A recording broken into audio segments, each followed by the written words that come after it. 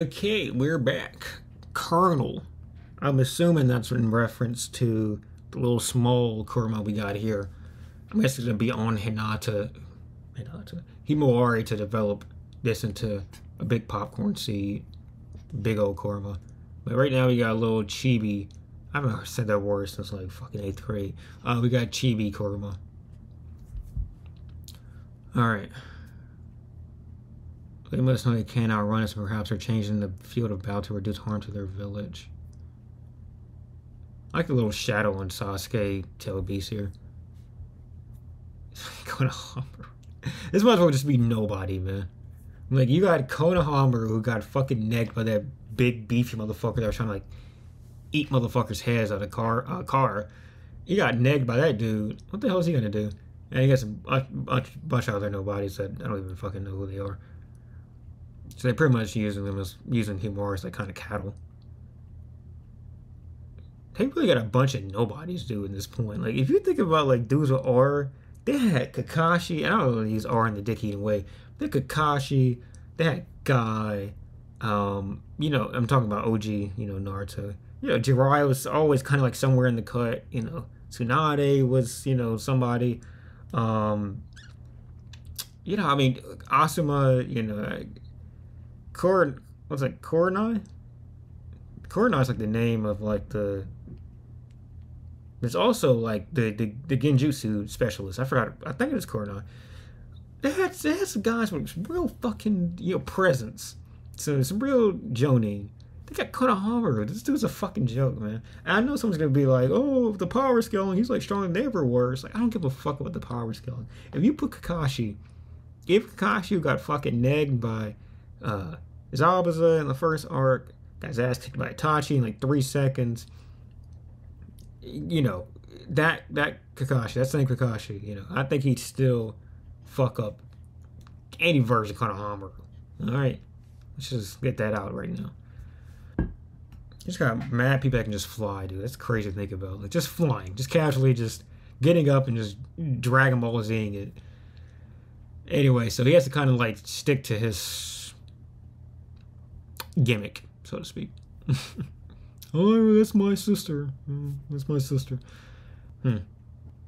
Boruto definitely is spooked whenever Karmas gets karming. Same as Jura. Okay. You might have said already, I just fucking forgot. Why in the world did they interfere with us? Using an exact tone, ask them yourself. Oh, so we're gonna get to see Sasuke go a little bit crazy. Okay. Sasuke, let's go. Let me see that. Let me see that Sharingan real quick, Sasuke. You're also no noisy. What business do you have with us? I would be very surprised if this guy's been voiced by Sasuke in the anime.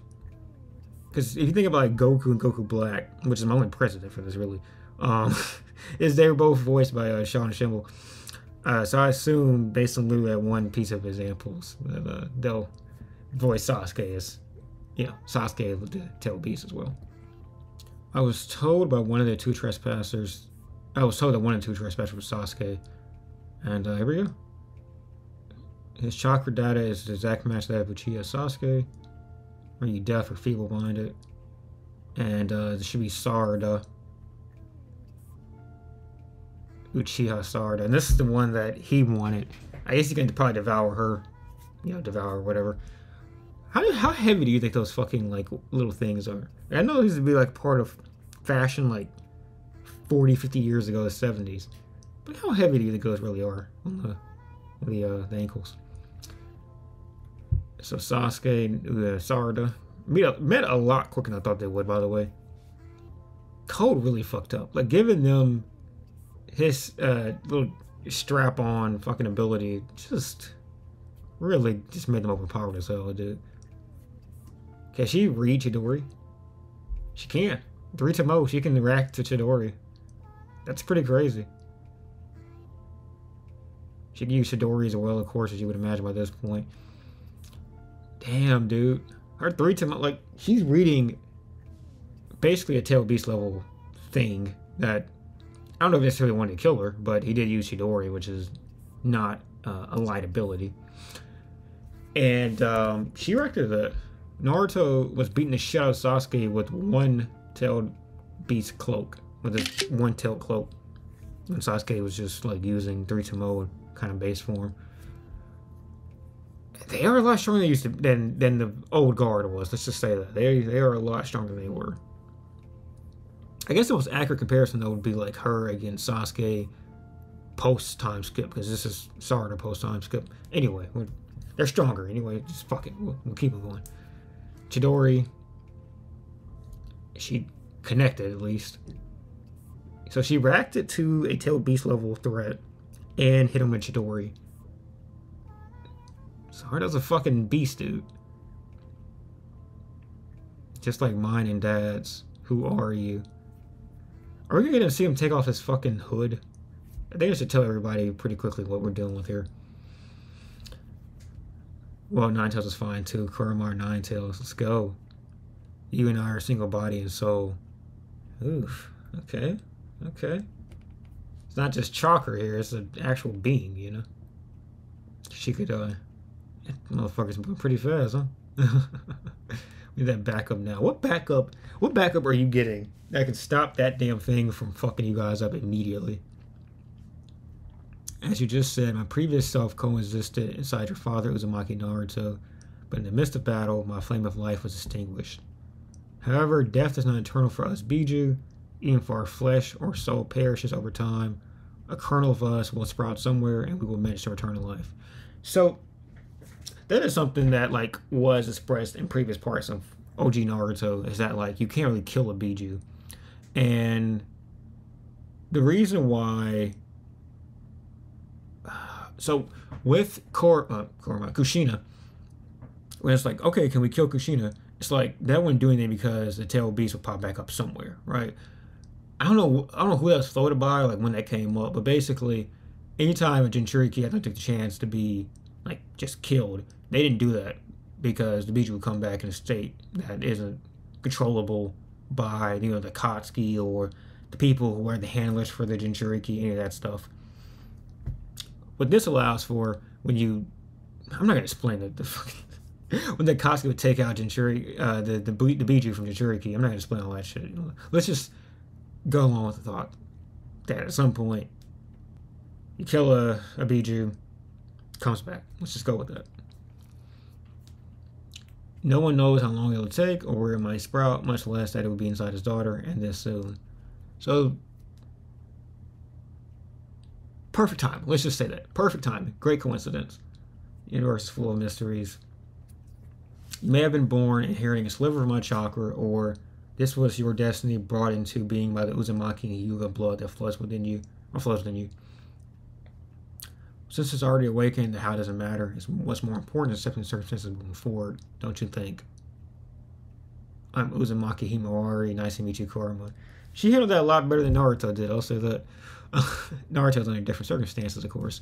The only thing I was gonna say, I, I, mentioned I'd like literally spend like a minute and a half, like giving an example of what I was thinking here, but yeah. So basically, I thought that with Naruto producing a kid while still being a Jinchuriki, some of Kurama's juice went into his sperm, basically. Now the theory was a little bit gooberish because why would Himawari get it and not Bard? So as Bard as Kurama is explaining though, it's pretty much all a chance. The chance might have been increased because they both probably had some Jinchuriki chakra in them. You know, I don't know. It's probably no good reason why it was Boruto, uh, not Boruto, and it was Himawari. They both have the same parents, obviously. But it worked out. Kurama do something. Okay, let's see. I, I want to see. I want to see a cloak real quick. Give me a cloak. So you can just fire off those tail beast bombs just pretty quickly. Rapidos, as one might say. Alright. Big body. Uh, what's her name? I don't know. It's, it shows something. It's, it's Chojin? Might be Chojin. I don't know. We'll just call her, call her Big Body. Chocho. Okay, sure. We'll call her Chocho. A true shame to have to depose, dispose of you. but it can't be helped. You chose this fate. The only one can do something about this is you. Should be a no-brainer. Whether you use or quash my powers is all up to you. You said like it's easy, but how am I supposed to? I a sense your chakra has a higher affinity to mine than any of your other predecessors, more than even Naruto's. So get rid of any foolish preconceived biases. First off, you need to believe in yourself, otherwise your future doesn't look bright either way. So kind of like um, Hinata, like it's the thing where like she just has to believe that she's the guy or the girl in the situation, and she can just do whatever the fuck she wants to do. She can beat the shit out of a Biju. Where's our backup? Let's go. God damn. This broke her fucking leg. Jesus Christ. I mean, that healing factor of a Jinchuriki might help her out, but her whole fucking legs got snapped, and this isn't exactly the grown man Kurama. That might not be the best case scenario. At least she went for it, man. Gotta be honest, she went for it, dude. You call it devour, but you simply become nourishment for me inside this tree. It isn't painful. There's no need for you to be afraid. Including that fractured leg of yours. Inojin. Inojin's a real ass dude, man.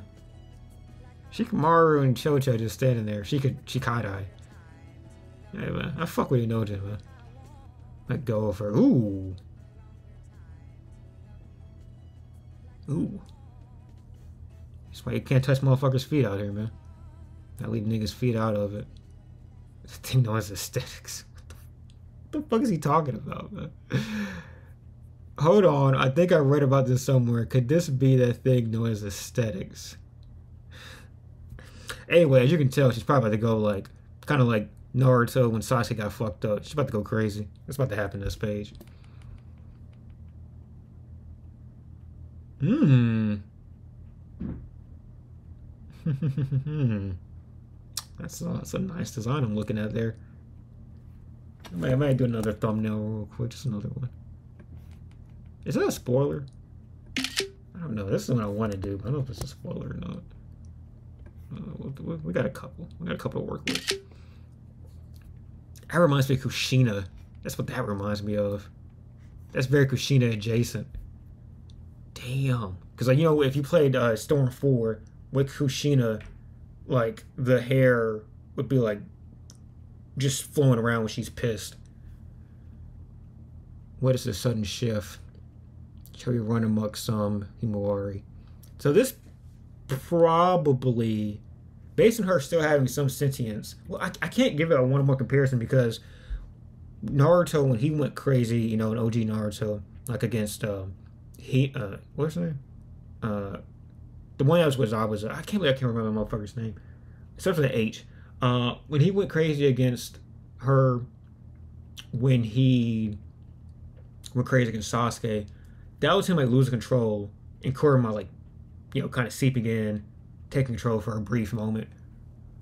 This is like a still sentient Himawari that's like being not aided because as he just says like he has no real control over what happens he's just like a chakra reserve for himawari i guess the best comparison would probably be like the pre Four Tails Naruto, where he still has some level of control over himself. He's just going fucking crazy. I think it's probably that's the most similar to this, you know. But yeah, even when Boof, man, what, what god damn it, went Boof out here, dude, crazy shit. I don't like her face in this. I'll be honest with you. Her face looks like I don't know, like it's just design. I don't know if it's the teeth I think it's like she has like a small ass face, but she's like a lot going on in the face. Just the big ass teeth, the markings. I don't, you know, I don't think I'm a fan of it. I don't know. I just her face looks weird in that situation. But one, two, three, four, five, six, seven, eight, nine. So she does have nine tails, if you want to think about it like that. But it's, it's just a cloak. It's just a cloak. Kind of, kind of basically a cloak, more or less. Well, we're, we're in a good spot. I would say we're in a very good spot right now with um, with Bard. So what what's what's good is that we have multiple heroes that are interesting. That's the most important thing. We don't what what I want out of this is that we have multiple relevant non Boruto, non Kawaki heroes. I don't think Kawaki's a hero at this point, but we got Himawari, we got Sarada who's reacting to effectively, you know, ten tail level guys. Um, we have these other people who are, you know, strategically very adept. Like, you know, she could show very adept. Um, it's not the beginning I can think of that really contributed to this battle right here. But, you know, class president still there, you know, not doing much, but there. So we got got some people that matter. You know, we always got we're gonna get Naruto and Sasuke back at some point. They're gonna be back in the fold. So we got non Boruto, non Kawaki people that matter. Uh, Mitsuki or Mitsuki remains to be seen. Remains to be seen what we got of him. He definitely appears to be strong. He does not appear to be in the same ballpark as Boruto, but Boruto is also basically negged Kawaki before Kawaki used Karma, so Boruto's in a different league than the rest of these motherfuckers, but I think Mitsuki will matter. Uh, he appears to have an ear in with Eida, so I think he'll matter. We got some interesting characters here. We got some depth. That's what we want. We want a rotation. We don't want LeBron 2018 and a bunch of nobodies. We want Cavs 2016. Very good team. Very good team. Anyway, that's it. I knocked out both of these back to back. God damn, dude. I'm good when I want to be good, man. What can I say? I'm Gonna get these edited and pushed out hopefully as soon as possible. Finally be caught up with Boruto. Thank God. Um, hopefully can catch up with JoJo Lands. I always want to say JoJo Land, but JoJo Lands one day, even though we're probably like six chapters behind, but one day, piece by piece. If you guys want me to do any other manga, I know Jujutsu Kaisen is going crazy. I have not read a single chapter of Jujutsu Kaisen, but I am caught up with the anime. I may watch it or read it. I may read it. I don't know. That, that that's one of those like with Demon Slayer. Like I can't imagine, based on what I've heard about the manga, that you're doing yourself a service by picking the manga over the anime. Like you gotta watch that shit to really get the feel for it. I'm going off on a tangent. If you want anything for me to read or watch or whatever, just let me know. I'll do it. I don't give a fuck, man.